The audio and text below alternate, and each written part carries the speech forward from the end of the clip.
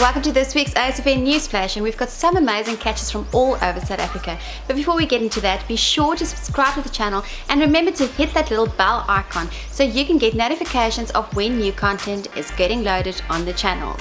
We kickstart this week with Mohammed who caught three grey sharks.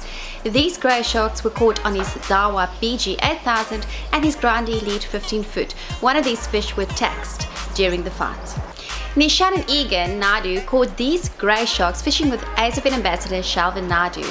Nishan's biggest grey shark measured in at 93 centimeters and Egan's biggest grey shark measured in at 101 centimeters. Congratulations on these catches. Then in another fishing session, Shalva Naidoo caught a 21.4 kilogram grey shark, Egan with a lesser sand shark and Nishan with a grey shark. This honeycomb was caught by Nathan Chetty using his Salter 6500 and his Daiwa Grande Elite 14 foot 6 heavy. Kada Gillian Foster took up fishing for the first time at St. Francis and caught a fall high of 18 kilograms. She didn't stop there. Next up was a ragged shark of 23 kilograms caught on mullet.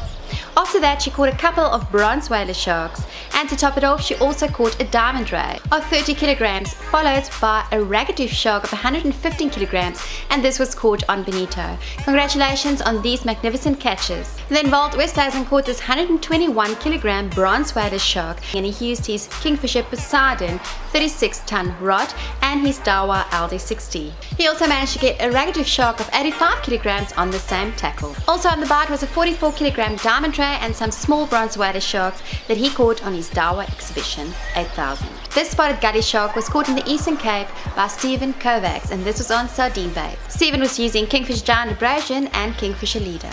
Using his Poseidon edible 15 foot and 33 pound cobra braid, Luke caught this diamond ray of 23 kilograms on mackerel and chokka and this was caught at Struisbaai. Fonny caught this ragged shark of 202 kilograms droning out a yellowtail head. This was caught on his Daiwa tournament and his BG 8000. Fonny also caught this 138 kilogram ragged shark at Macassar. Shakir landed this 18 kilogram giant guitar fish using his Saltiga 5000. This was on a mackerel dangled followed by a duckbill of 22 kilograms on a sardine bombait. This grey shark of 24 kilograms was caught on a mackerel bait and he was using his Saltiga 40HA and his Saltist 3 to 4 ounce. We wrap up this week's ASFN Newsflash with Amir Isaacs who caught this beautiful carp in Port Elizabeth.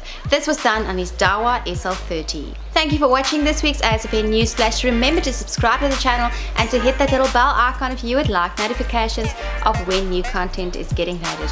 Also remember to keep those catches coming to Grande Elite at asfn.co.za. We'll see you next week. Goodbye.